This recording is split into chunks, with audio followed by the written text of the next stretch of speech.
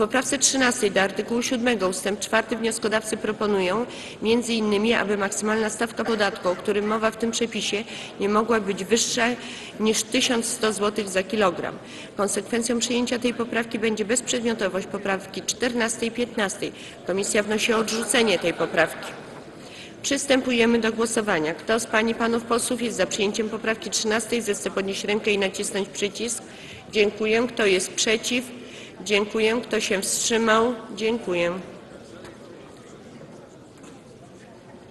Głosowało 446 posłów. Yy, za poprawką oddało swój głos 216 posłów. Przeciwnego zdania było 229 posłów. Przy jednym głosie wstrzymującym stwierdzam, że Sejm poprawkę odrzucił.